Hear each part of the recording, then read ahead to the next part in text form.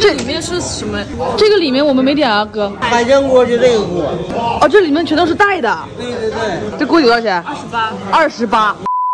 来沈阳，刚下飞机，直奔吃。每都有，都是肉，差不多得了，咱有俩人，我就点了两个肉，两个人能吃饱。也行吧。这个锅底只需要二十八，家人们，这谁敢相信？而且它是这种这么深的锅，里面全是东西。我第一次见到满扎满打的锅底，海鲜锅，我以为只是那种海鲜味的水，不是这么一看，咱俩这两盆肉点的真多余。我撒调料，就啥啥玩意儿？没见过的都来点，混在一起，味儿也错不了是吧？不是，没没见过，不是没是炒麻酱、韭菜花，然后那个腐乳加点辣椒油就差不多了。哥过来拦你来了，再加点辣椒。这个，我在背后蛐蛐你了。我以为是老板，结果不是老板。对，就是旁边吃饭的客人。学爷，我这肉都涮不下去。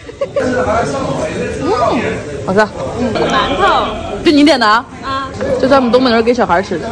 我就是小孩，我要是没吃完，多怪都怪这个二十八块钱的锅底。它这个肉吃的好好吃，好有嚼劲。哎呀，来沈阳，大家一定要来吃这个海鲜锅。大家还在挤哈尔滨，我们已经来征服沈阳了。这是不是该加水了？开局疯狂加水三次，但是耐不住里面东西太多了。我吃完了，这肉都是你的。咱们已经现在进入了吃饭的最后一个阶段，吃不下只谁点的谁吃完。哎，我们吃完就，这怎么打包？好粉的，大哥以为我们没吃饱，要给我们加点菜。东北人说话这么温柔，给你夹呢。下回来不来了？来，来。